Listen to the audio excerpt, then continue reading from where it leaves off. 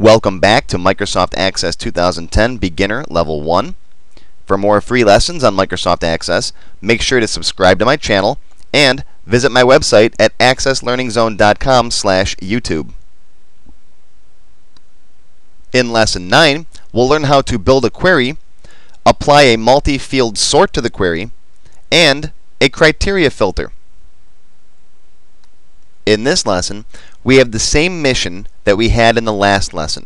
The boss wants a list of all the customers we have from New York State sorted by last name.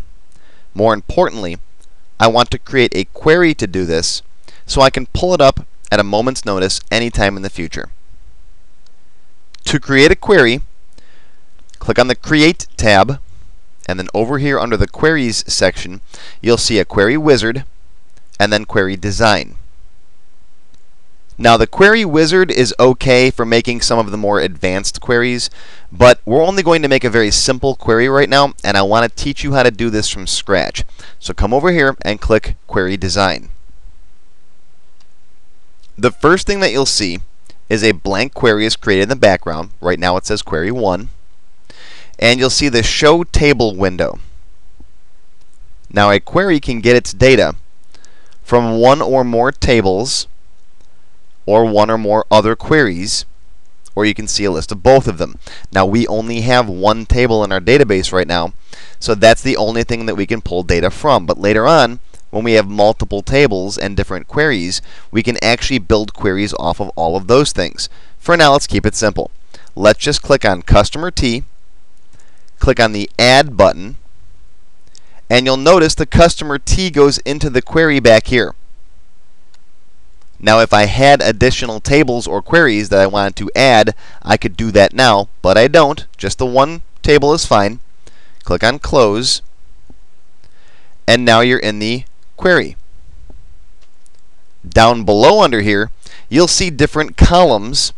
On the left-hand side it says Field, Table, Sort, Show, Criteria, and OR. Now I will tell you, this is one of the stranger things that you'll see in Access.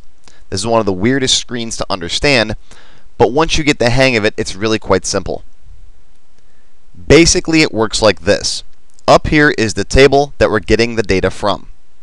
Down here are the fields or columns for the query.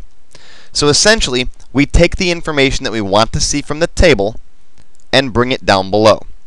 So let's say I want to see first name and last name in my query click and drag first name and drop it right down here in the first column. Now do the same thing with last name. There's last name. Click and drag and drop it down here into the second column. It's that easy. You can see here's the fields, first name, last name. The table that they're from shows up down below here. We only have one table right now. If you had multiple tables, you might see different table names down here. And that's how you put fields into your query. It's very simple. Now, to see the results that the query is going to produce, take your mouse and click right here on the Run button. See where it says Results? There's a Run button. Looks like an exclamation point. Go ahead and click on that now. And there are the results of the query. Now, all I asked for at this point was show me a list of all the customers first name, and last name. That's it. It's not sorted yet. There's no filter. I just told the query, show me all the customers, show me their first name and last name. Access gave us exactly what we asked for. Let's say in addition to first name and last name, I also want to see the phone number. Perhaps the reason the boss wants this list is to have someone call all of these customers. So let's add phone number to this query. First, we need to go back into Design View. Remember when we were working on our table, we had Datasheet View and Design View? Same thing over here. There's our button to go back into Design View. If you drop this down, you'll see there's the Datasheet View. A couple of other views are in here. Don't worry about those for now. And there's Design View. Click on Design View, and it puts you back into the Query Design window. So to add another field, just find it up here in the table. Where's phone number?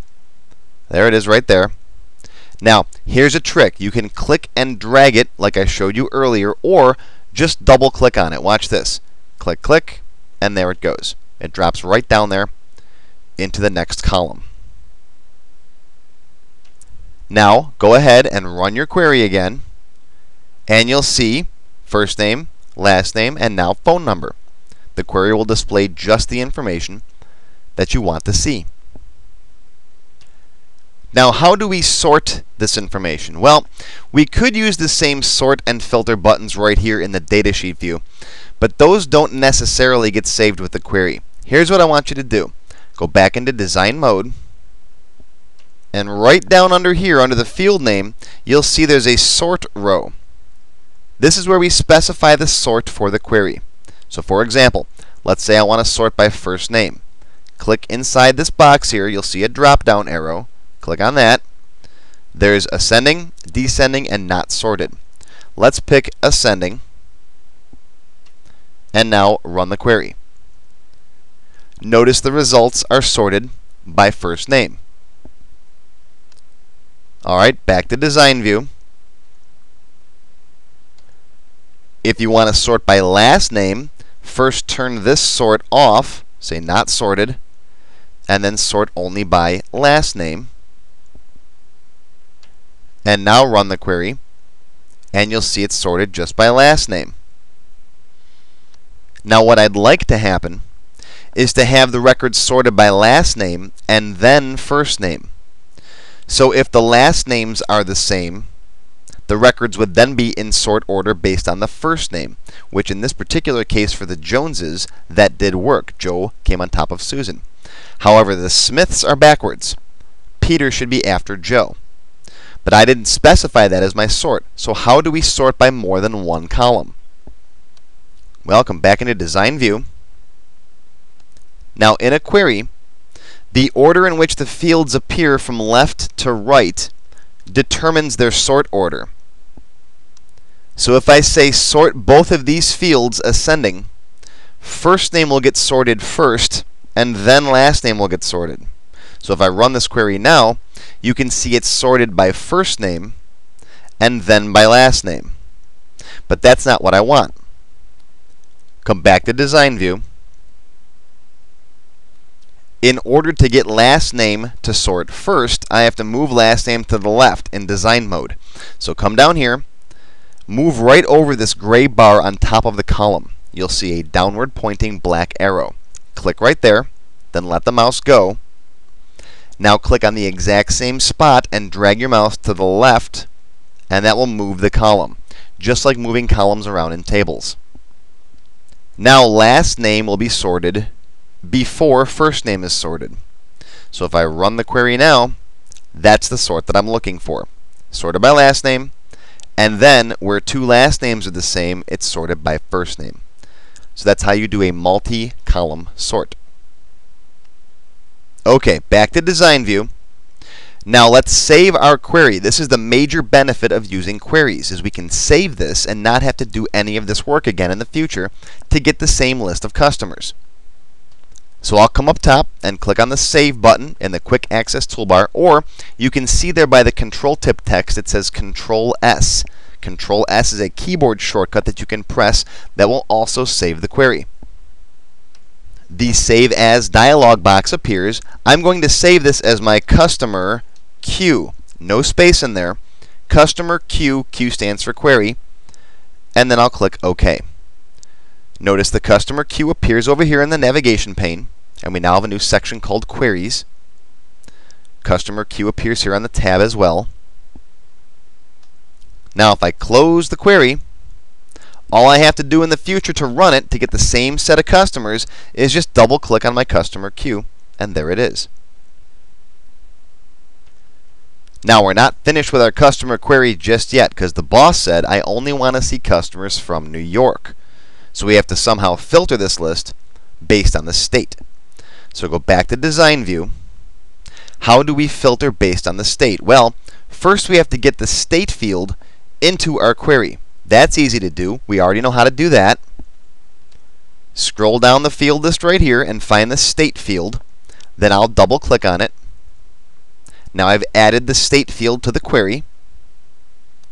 If I run the query right now, you'll see there are all the states. Now I haven't filtered it yet. Again, we could cheat and come up here and apply a filter right here, but these don't reliably get saved in the query. So go back into design mode, and down here you'll see a row that says criteria. The criteria row is essentially a filter for the query. So I'm going to come down here under state in the criteria row, and I'm going to type in NY for New York. Now I'm going to press tab. That moves me over to the right. And look what happens. New York has quotes around it now. That's fine. Basically, it's saying that New York is a text value as opposed to a number value or a date value. That's what I want. We'll talk more about what those quotes mean exactly in future lessons. But now I've set up a criteria that the state has to be equal to New York. Now, go ahead and run the query again. And there you can see just the customers from New York are displayed. Now, I want to save this query, but don't just click on the floppy disk save button because that's the save command. It will save this customer Q over the old customer Q. Let's use the save as command so we can change the name of the query. This is a trick that I show my students in my Microsoft Word class. If you're working on a document, say a letter, and you're writing a letter to Joe Smith, and you want to send the same letter to Sue Jones, you open it up, make a few changes, go File, Save As, and change the file name. The same thing works in here with database objects. Instead of clicking on the Save button, we're going to go to File, and then Save Object As. All right, Save Customer Q to the default is copy of customer Q. I'm going to change this to customers from New York Q, just like that. And then I'll hit OK. The object is saved. Now I'll click on the File tab again to close that down. And here you can see, I'll open this up a little bit. Here you can see both of our queries. Customers from New York and our old customer Q. You can open up the other one by double clicking on it. Notice here I now have two tabs. They're both open at the same time. There's customers from New York and just the customers. I'll close that one and then close this one. And see now how I can open up both of these at any time in the future without having to do any more work. The sort and filter, or should I say the criteria, is saved in the query. Now, if you want to make a change to this query, let's say you want to save this as customers from Pennsylvania. All you have to do is go into Design View, find your criteria, which is right over here. Double click. I'll change that to Pennsylvania. I'll go to File, Save Object As, change this to Customers from PAQ. Hit OK. Close the File tab. And now you can see I have multiple queries over here.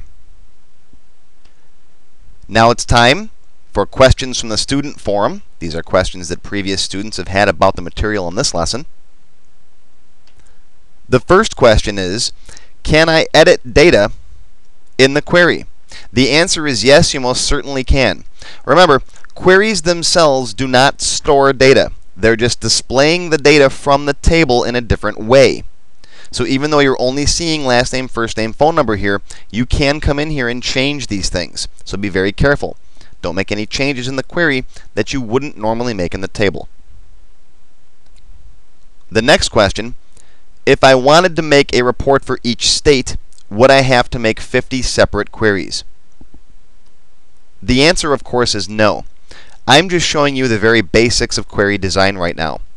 Later on, I'm going to teach you how to create something called a parameter query, where you can set up a query so that the user types in the state that he wants to see when he runs the query. So we'll open the query up, it'll say enter the state, type in New York, and there's the records from New York. Close it down again and type in California, and you'll see California. That's called a parameter query, and we will cover that in a future lesson. And finally, another popular question, what is this asterisk on top of the list of customer fields? The asterisk is something you can add to the query if you want to see all of the fields displayed every time the query runs. This way, you can bring in the fields that you want to sort or put criterias on, and then add the asterisk to see all the rest of them. And again, we'll talk about this in more detail in a future lesson. So now we know how to build tables and simple queries. In the next lesson, we'll start working on forms. Make sure you subscribe to my channel right now. And also, don't forget to visit my website at accesslearningzone.com slash YouTube for more advanced lessons and other specials just for YouTube viewers.